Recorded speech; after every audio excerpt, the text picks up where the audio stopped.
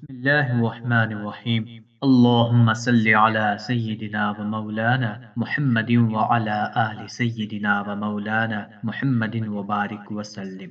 السلام علیکم ورحمۃ اللہ وبرکاتہ امید کرتا ہوں آپ سب حریت سے ہوں گے. قوضی افضاء کی جانب سے ایک بار پھر آپ کی خدمت میں حاضر ہوں۔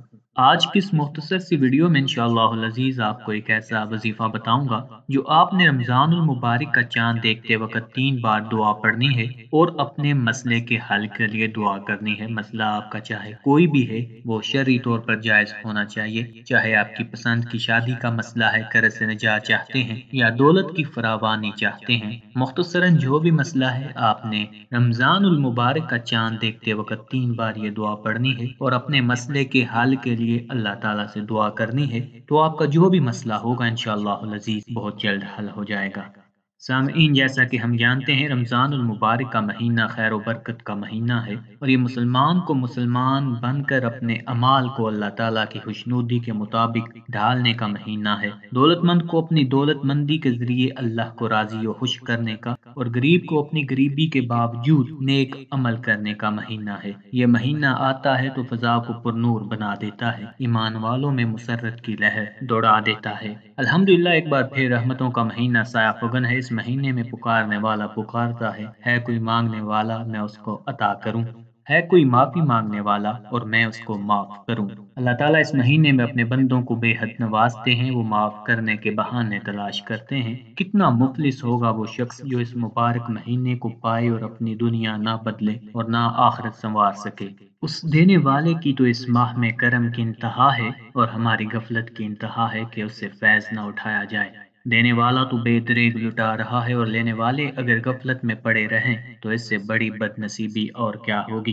اس مہینے میں کوشش کریں کہ اللہ تعالیٰ کی زیادہ سے زیادہ عبادت کریں۔ رسول اکرم صلی اللہ علیہ وسلم پر زیادہ سے زیادہ دوشی پڑھ کر ان کی بارگاہ میں پیش کریں۔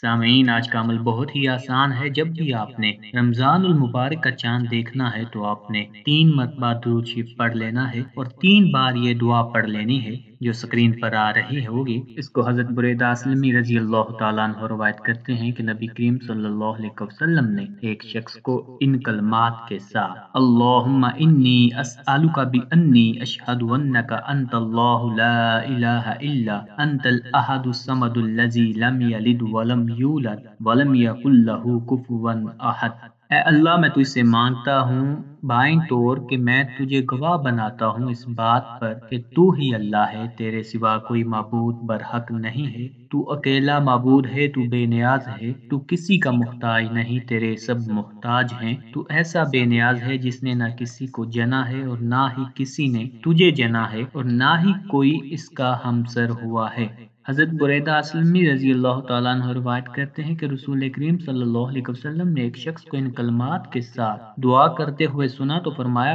قسم ہے اس رب کی جس کے قبضے میں میری جان ہے۔ اس شخص نے اللہ سے، اس کے اسم اعظم کے وسیلے سے مانگا ہے۔ جب بھی اس کے ذریعے دعا کی گئی تو اس نے وہ دعا قبول کی اور جب بھی اس کے ذریعے کوئی چیز مانگی گئی تو اس نے عطا کی۔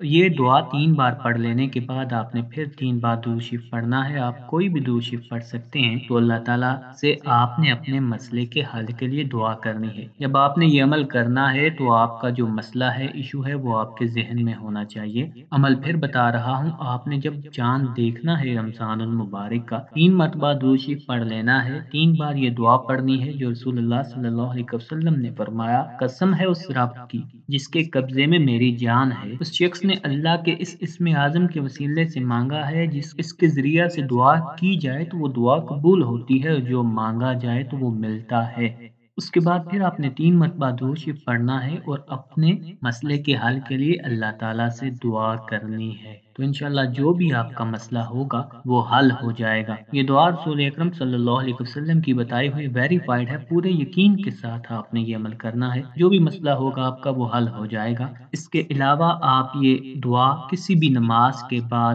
پڑھ کر اپنے مسائل کے حل کے لیے دعا کر سکتے ہیں۔ بہت ہی مجرب دعا ہے، کیونکہ یہ رسول اللہ صلی اللہ علیہ وسلم سے ثابت ہے۔ اگر آپ کو یہ دعا یاد نہیں ہے تو آپ ویڈیو کا اسکرین شاٹ لے کر اسے چاند دیکھتے وقت پڑھ سکتے سکتے ہیں۔ آخر پہ آپ تمام حضرات سے گزارش ہے کہ ہمارے وظائف کو، عملیات کو اپنے دوستوں اور رشتہ داروں کے ساتھ بھی شیئر کیا کریں تاکہ زیادہ سے زیادہ لوگ ان سے استفادہ حاصل کر سکیں۔ اللہ تعالی ہم سب کا حامی و ناصر ہو۔